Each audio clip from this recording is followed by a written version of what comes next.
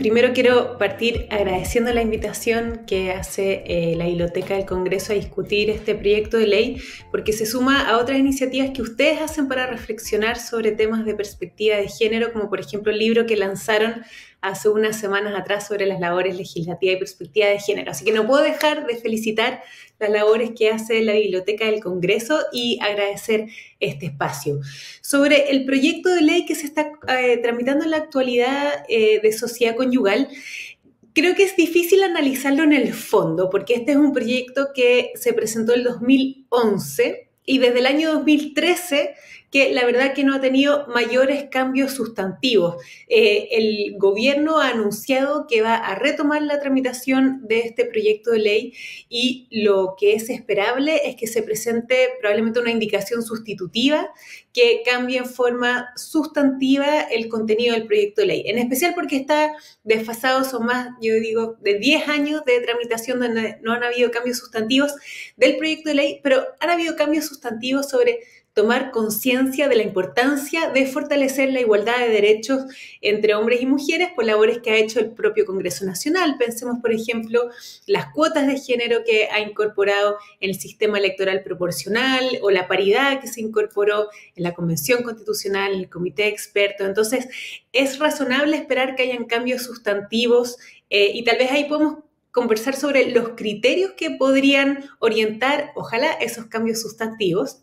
Y tomando en consideración también que tramitar este proyecto de ley no es solo un acto de voluntad del gobierno, sino que acá hay una deuda eh, con soñarse. Eh, el Estado de Chile se comprometió el año 2007 ante la Comisión Interamericana de Derechos Humanos a modificar, a tramitar una modificación del régimen de sociedad conyugal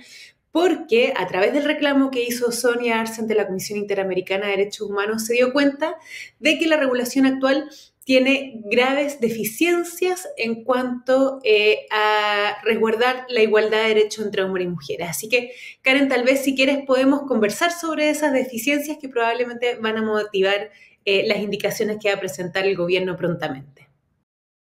La figura del régimen patrimonial supletorio eh, tiene una función práctica que es importante, que es asegurar que la forma en que se organiza el patrimonio de la familia no quede en el vacío, sino que en el caso de que las parejas nada digan al momento que contraen matrimonio, se sepa siempre que va a haber un régimen que va a regular esta materia. Entonces, estas materias que son tan importantes en la vida familiar, eh, no pueden quedar en el aire. En ese sentido, el régimen supletorio es razonable. Pero también es importante preguntarnos ¿Cuál es el régimen supletorio que debería eh, regir si es que no manifiestan las partes que contraen matrimonio una voluntad cierta sobre la materia? Y ahí el régimen de sociedad conyugal,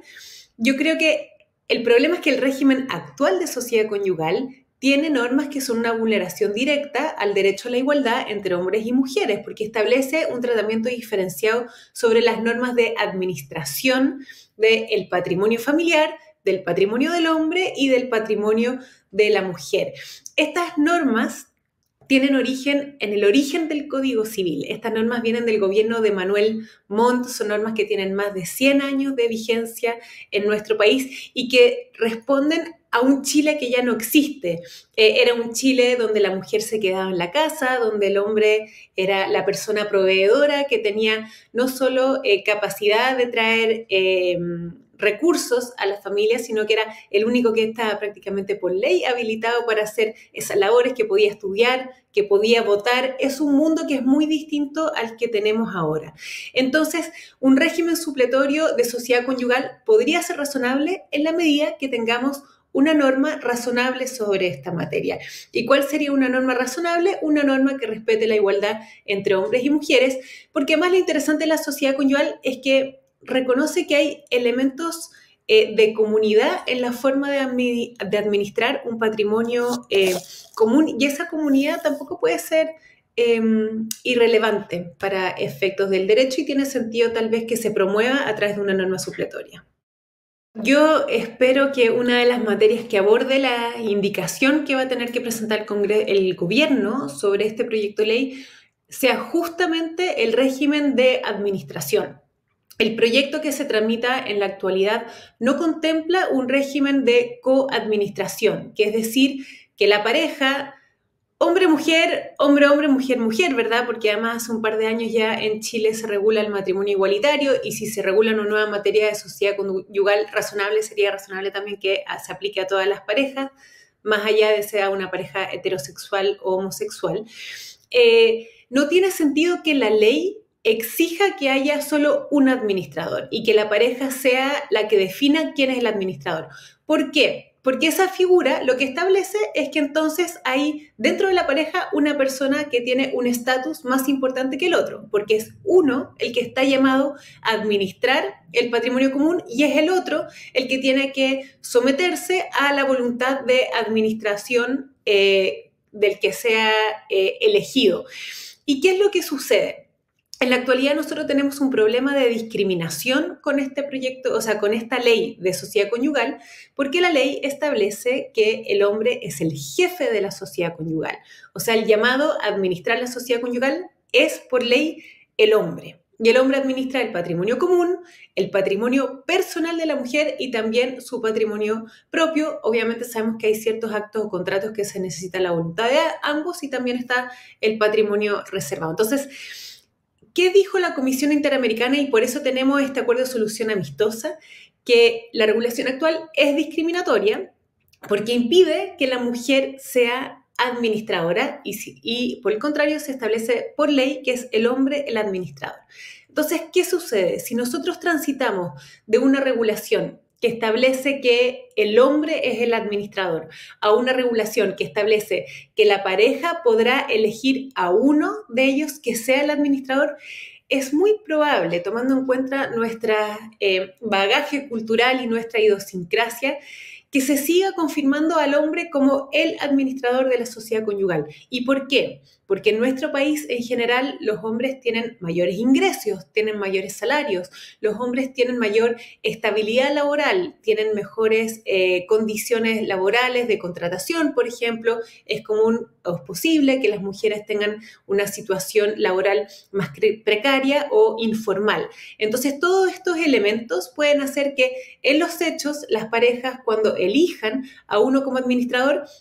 sigan eligiendo al hombre y eso genera, insisto, un desequilibrio porque establece que solo una persona es la llamada a pensar sobre la economía familiar y no ambos. Y en un régimen como sociedad conyugal que está pensado con una lógica de comunidad y de colaboración, lo razonable es que ambos estén llamados a administrar. ¿Por qué vamos a imponer por ley la obligación de elegir a uno u otra persona de la pareja para administrar si ambos son capaces legalmente y ambos perfectamente pueden coadministrar, así como se coadministra, por ejemplo, una sociedad comercial o una sociedad profesional, donde puedes no solo tener incluso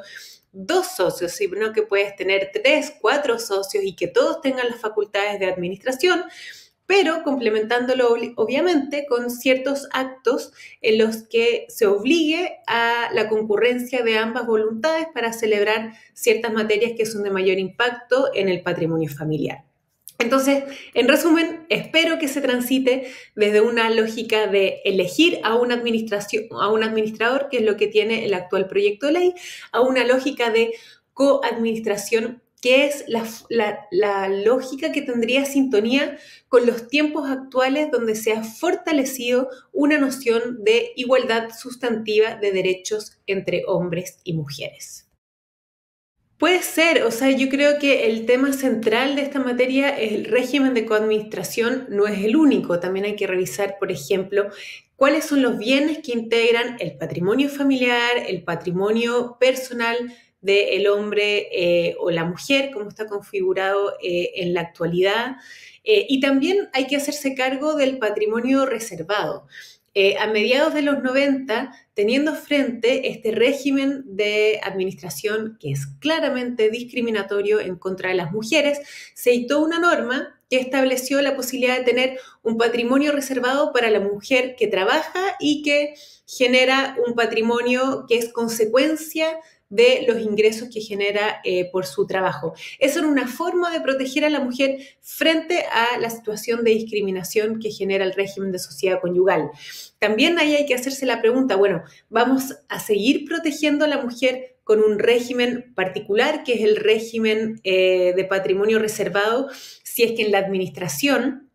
ella y su marido van a estar en condiciones de igualdad frente eh, a la administración común de este eh, patrimonio familiar. En este sentido, por ejemplo, yo creo que sería importante revisar el patrimonio reservado e incluso sería difícil de justificarlo. Y si hay un sistema de administración razonable, balanceado y equitativo entre hombres y mujeres en el régimen de sociedad conyugal, eh, el patrimonio reservado ya no tendría sentido en cuanto a su existencia. El proyecto está estancado en el Congreso por dos razones. La primera es que no existe consenso sobre esta lógica de coadministración y la segunda y principal, diría yo, es por el tema eh, del patrimonio reservado, porque por muchos años el patrimonio reservado ha sido como una especie de escudo de, defensa de eh, las mujeres que están totalmente desprotegidas en el régimen eh, de sociedad conyugal. Entonces, los puntos críticos, los núcleos eh, conflictivos están claramente eh, identificados.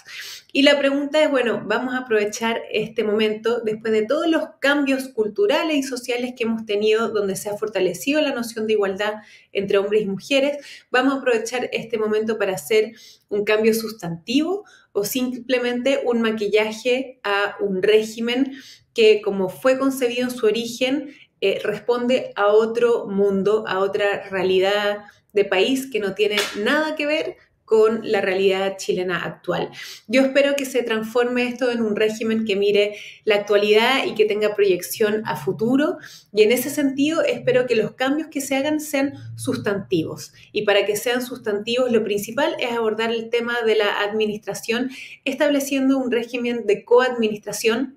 porque más si no, hay coadministración, vamos a transitar de una norma con una discriminación directa, que es la que tenemos en la actualidad en el régimen de sociedad conyugal, a una norma de una discriminación indirecta.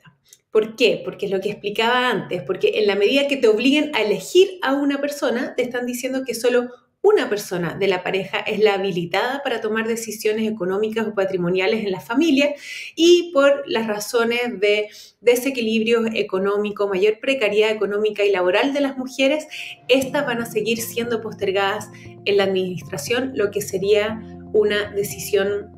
poco adecuada para el mundo moderno.